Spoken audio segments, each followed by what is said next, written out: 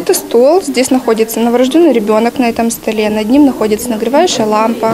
Также к нему подключен монитор, на котором видно показания сердечной деятельности, э, сатурация кислорода, по-моему, температура тела. Вот на таких тренажерах учатся студенты Тихоокеанского государственного медицинского университета. Пару лет назад для них был построен новый корпус – Институт симуляционных и аккредитационных технологий. Центр оснащен современным технологическим оборудованием. Таким образом, у юных медиков появилась возможность оттачивать навыки для проведения практически всех медицинских процедур. Есть отдел неотложной помощи, стоматологическое и медико-профилактическое отделение. Циклы обучения здесь краткосрочные и длятся от 3 до 6 дней.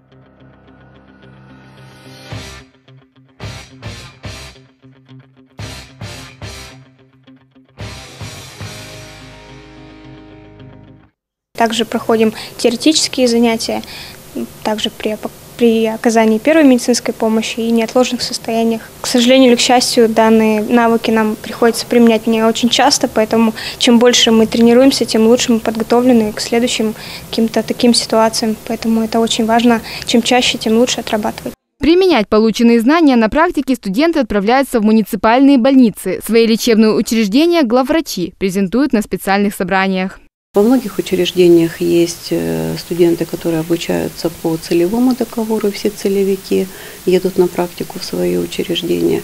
И после таких встреч у студентов появляется интерес к учреждениям Приморского края, и они на любом этапе обучения могут заключить целевой договор и уже в будущем тем самым обеспечить себя работает. На встречу приехали представители Харольской, Пожарской, Октябрьской и других районных больниц. Условия для студентов примерно одинаковые. Ребятам оплачивают проезд до места практики, расселяют в гостиницы, общежития или квартиры, выплачивают прибавку к стипендии.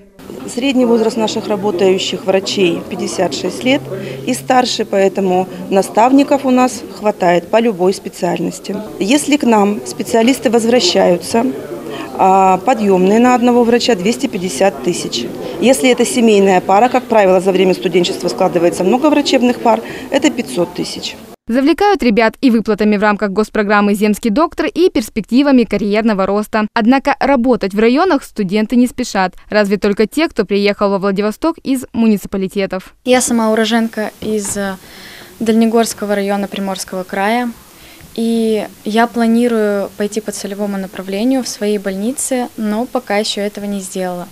Потому что на тот момент, когда я поступала в ВУЗ, у меня были совершенно другие планы. И сейчас, когда говорят об условиях и развитии нашего края, э, меня прельщают такие условия. Теку уже проходила, в Арсеньеве продолжаю проходить, вот, ну, летом предстоящее. И, конечно, работаю туда. Но все же есть те, кто предпочел городу периферию. Врачи собственным опытом доказывают, поднимать здравоохранение в крае занятие не только правильное с моральной точки зрения, но и довольно перспективное. Свою трудовую деятельность да, я начал с города Владивостока. Э, последнее место работы – это краевой противотуберкулезный диспансер. 18 лет отработал на одном месте. Но дальше Родина позвала и поехал. В принципе, больших отличий не почувствовал, имею в виду э, город и село там, в плане комфорта. Я человек неприхотливый, но Харольский район достаточно комфортный для проживания.